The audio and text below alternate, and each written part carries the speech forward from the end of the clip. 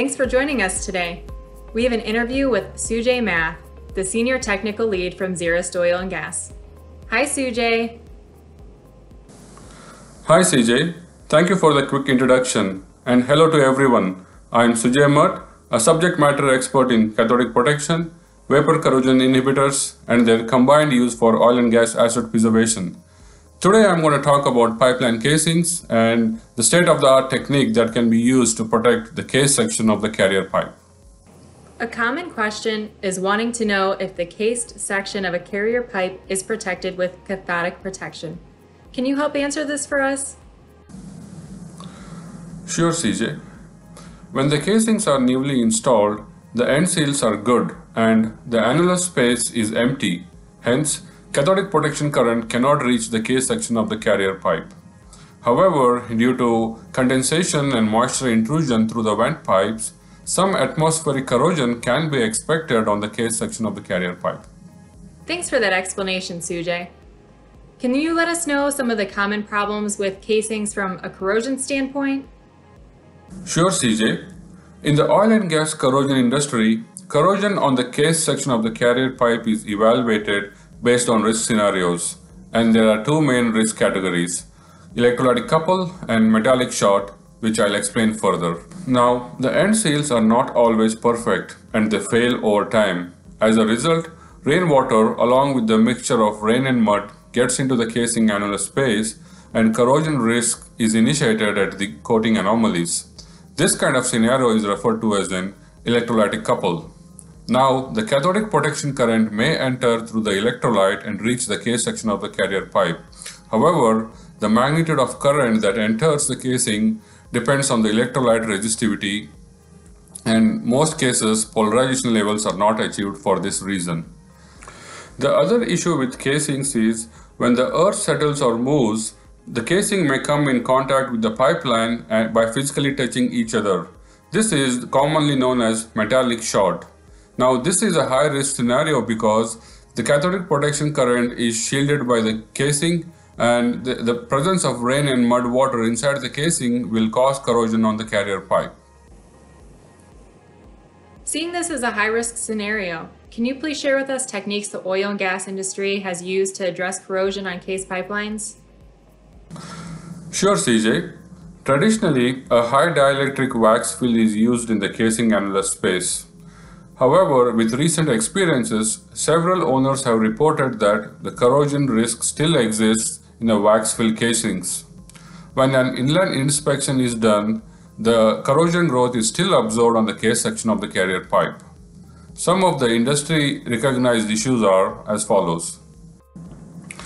When the wax is installed in the casing, high temperature has to be maintained so that the wax flows properly into the casing annulus space. In most cases, the product inside the pipeline is cold and hence when the wax touches the pipeline, it settles right there. Also, the presence of spacers blocks the movement of wax in the casing annulus space. For this reason, complete fill is not achieved. Over time, rainwater gets into the casing and the corrosion risk still initiates. The other disadvantage of using a high dielectric wax is Cathodic protection current cannot enter the casing and reach the carrier pipe. Also, several pipeline integrity techniques cannot be performed in this case. As a result, most owners are moving away from using wax into the casing and have started using the new VCI technology into the casing. Can you explain for our viewers more about this new VCI gel technology and the benefits of using it in casing annulus? VCI gel technology is a vapor corrosion inhibitor that is used to mitigate corrosion on the case pipeline. The advantages of using VCI is VCI is water-based and in low viscous in nature. As a result, it flows easily during installation around the spacers and a complete fill is achieved. VCI is also highly conductive in nature. As a result, it will allow cathodic protection current to go through the casing and reach the carrier pipe. Also, the pipeline integrity techniques can be performed because of the presence of VCI gel.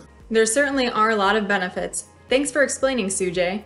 How does cathodic protection work when the carrier pipe is metallically shorted to the casing? And are there any benefits VCI gel can provide in this scenario? Sure, CJ.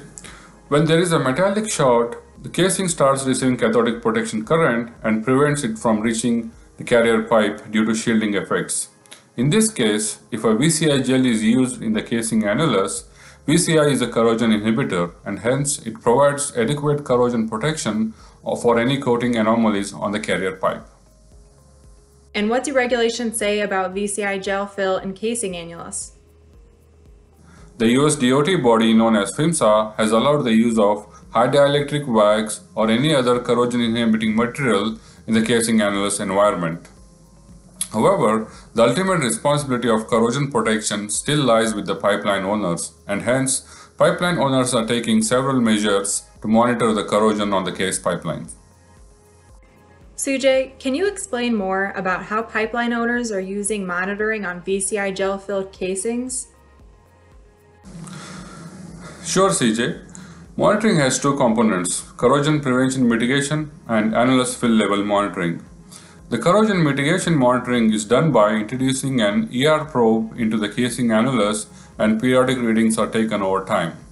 Now, this is a proactive approach by owners to monitor a corrosive environment inside the casing until they do their inline inspection to monitor any corrosion on the case pipeline. Annulus fill levels are also owner's choice. Either you can do a 50% fill or a 100% fill. However, the PHMSA regulates that whatever fill volume is used, it has to stay in place and should not leak to the environment. Now the local EPA and state regulations may apply if the fill material leaks into the environment. Zerust VCI gel stays in place and never leaks to the environment. Thank you, Sujay, for answering these questions about cathodic protection and VCI gel for pipe casings. And thank you all for tuning in.